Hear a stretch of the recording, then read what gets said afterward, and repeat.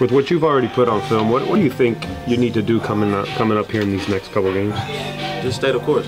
You know, rather you know at practice, you know, being available for special teams and, you know, during the game, stay the course and uh, you know, do what we're taught. And, you know, play football, have fun. How much of it is uh, establishing trust, the coaches trusting you and, and, being able to do everything that they, they want you to do out there? I think that comes with uh, accountability. Accountability, you know, being on time, doing what you got to do. Um, know, not giving any reason to for mistakes. You know, stay, stay on your stay on your stuff, your study books and everything like that. You know, to stay accountable to the team. Is that is that nerve wracking? No, you know, it's something that you should be you know supposed to do. You know, I've um, you know had my knucklehead years in the past at one point, but grew up, learn from it, and you know it's life.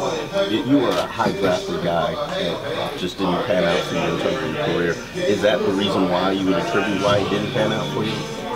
I wouldn't say so. Um, maybe part of it, some of it, but I just look at it as everything happens in life for a reason.